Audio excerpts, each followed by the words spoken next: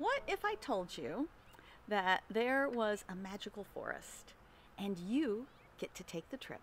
I'm going to walk you to the front of the magical forest and you have a choice.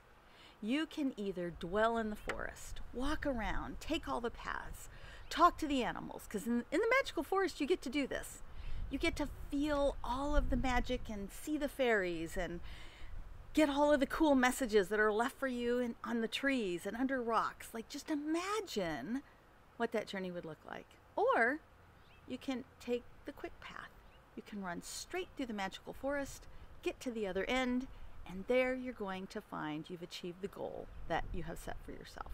Now, I'm going to bet that if you had a choice of running straight through the magical forest and getting to your goal, or hanging out having fun, enjoying the adventure, and really living the magic, you're going to hang out in the magical forest for a while. And you know what?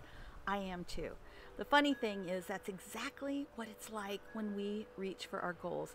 And I'm specifically talking to my fellow entrepreneurs here. We get so focused on that end goal, on what we want to achieve, on what our business needs to look like, that we forget all of the cool stuff that's happening all around us while we learn, while we grow, while we meet new people, while we dream up new products and services, while we serve new clients and we make a difference in the world.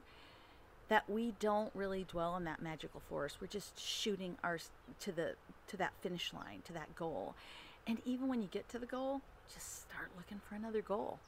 Life's too short for that this journey is where the magic happens. And I'm going to encourage all of you to take the time to dwell in that magical forest. You are going to get to your goal. I promise you. If you stick with it, you are going to achieve success in your business and you're going to create the things you want to happen in your life. Don't be in such a rush. Live in the magical forest, enjoy the journey. You never know what cool thing is going to be just around the corner for you. This is how we rise.